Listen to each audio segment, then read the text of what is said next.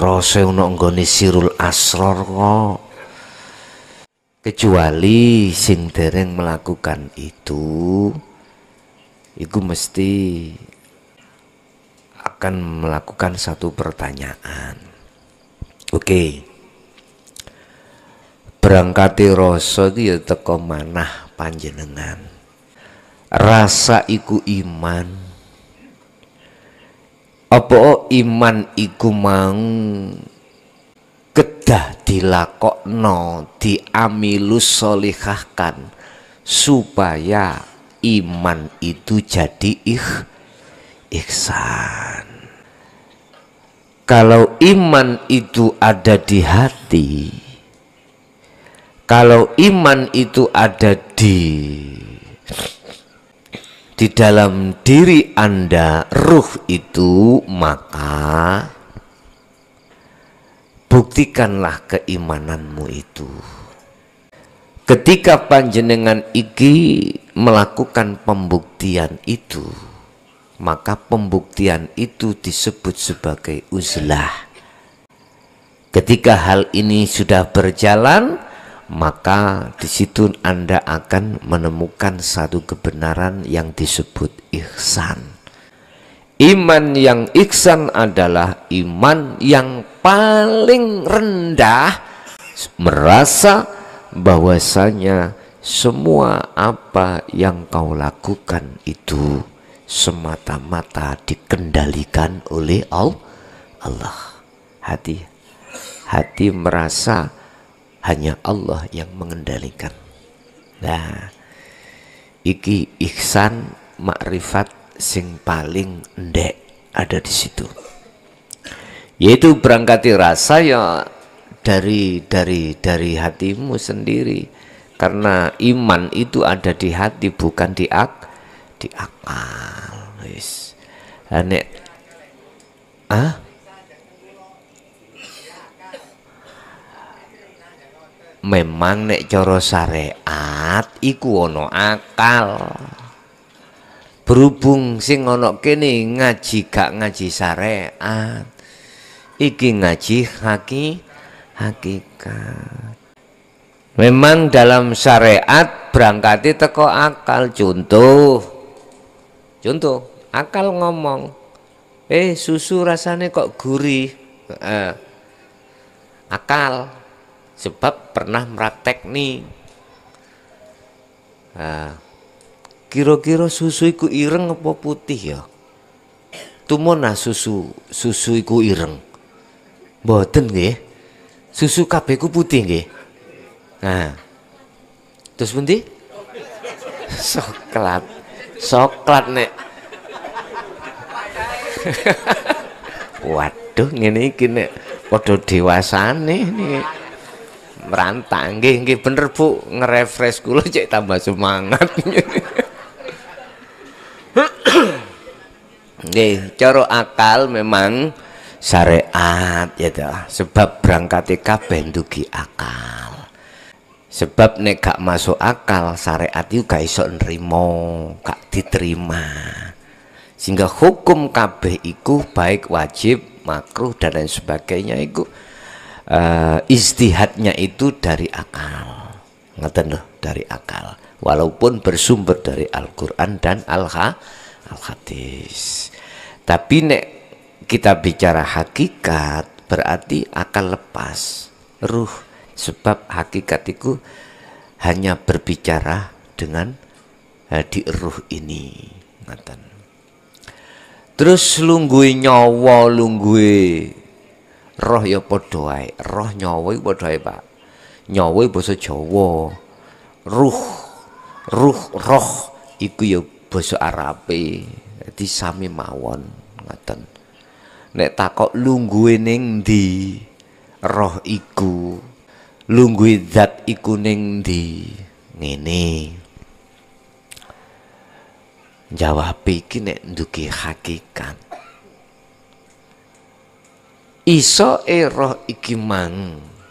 Sampai pada Allah ya kudu tumpaan sirul asr nek gak tumpakane gak iso.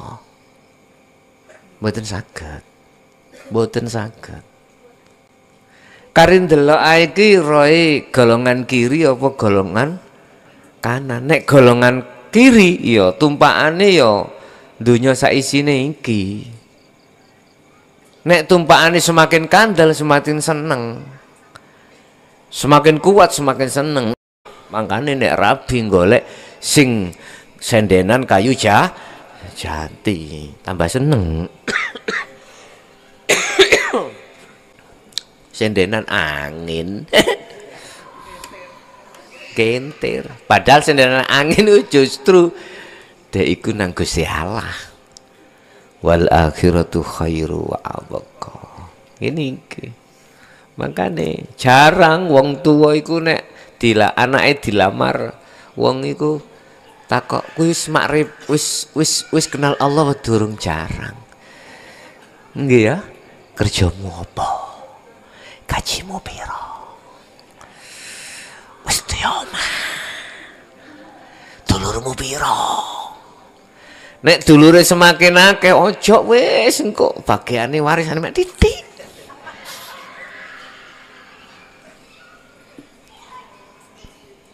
Nggih Pak.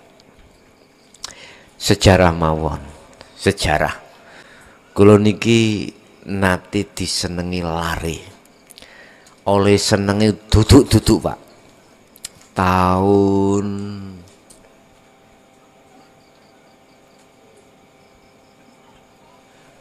sembilan puluh dua kalau nggak salah. Nuh, arek sampai mok pak, ya Allah. Nggih. Arek pondok Kediri iki sak pondok kali kula jejer. Cuman jarak ya adoh jae rong kiloan lah teko pondok. Sawane duduk-duduk. Basa ngoten anak iwak kaji, elek-elek anak iwak kaji kono. Basa didelok dulurku rolas. Kasih to. Urung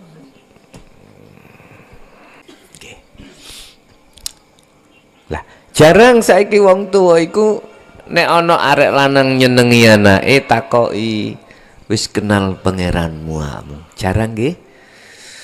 Nggih. Mosok boten enten. Utawa ngene lah, nek umpama mboten takok ngono, gene ngene arek lanange. Gak usah takok, kamu iso maca kitab, iso maca Quran, gak usah takok ngono. Kui sanggup sok bimbing anakku ngenal nang Allah. Kene ngono. Nek tawar aku iki mau kok sepakati, ya wis, ngono coba. Terus sing mburi, sing wedok ngomong, "Enggak nek montore pitu." Anak gak belas ya moh. Ya, ya. Allah wis diubah, diubah. Diubah. Situasinya diubah, ayo kita coba supaya apa sih anak sampean kali kula niki ben gak mung mikir tentang masalah maisyatul dunia tetapi juga maisyatul akhir akhirah lah pelungguane zatiku ya apa? Lah nek wis ana akad ya wis kuwi. Sing arep tak omong nemang la ibsarun wa mubsarun wa basarun. Sampean ruh tracake kuntul mibri ya niku. Nah. Tapi ning Quran Allah niku duduk berkuasa di atas kursinya. Syariat mengatakan kursi itu adalah kekuasaan, bukan kursinya teniki. Ya. Jadi ojo diangen-angen Gusti Allah iku magrong-magrong, ana ndukur kursine teko emas. Terus mendano cara rokokane rokok gedene sak piro. Aja. Dadi kursi singgasana itu adalah muluk kekuasaan. lah kekuasaan ini kono endi fa aina matuwallu fasamma wajhullah hu ndinggon lagi tidak akan pernah bisa panjenengan serap secara akal hanya bisa panjenengan nikmati dan buktikan secara hati. Utur baru iki bisa nompo makanya Rasulullah dawuh tafakkaru do mikiro siro kabeh akalmu fi khalqillah tentang kegawenane. Artine kegawane Gusti Allah makhluk itu no ambek jasadmu lewat akal tapi wala tafakaru akal jasadmu iku fidatihi ojo kok gawe nyerap date sing kudu kok nyerap date adalah ruh bukan akal. Makanya Rasulullah kan di diperingat no Allah tentang masalah ruh. Muhammad ne ono kalau ada umatmu tanya tentang masalah ruh. Jawablah itu buku, bukan urusaku Muhammad tapi urusannya Allah. Artinya katakan Muhammad iku urusaku. Allah ngono. Ruh itu terhadap manusia hanya sekecil sekentil kecil aja pengetahuannya. Artinya gue wis bahas hukum akhlak ilahiyah nangone ruh iku aja akal sing kok tompo. Iso pedot sampean? Iso jebol gak kena? Harus dengan hati. Karena bersentuhan langsung dengan hidup yang itu keluar dari gaya gravitasi bumi. Makanya apa osi sampai ini gak iso? Apa jenenge petal untuk kondunya? Karena sampai kena sedotane gravitasi gravitasi bumi ayo sal mencolot munggah.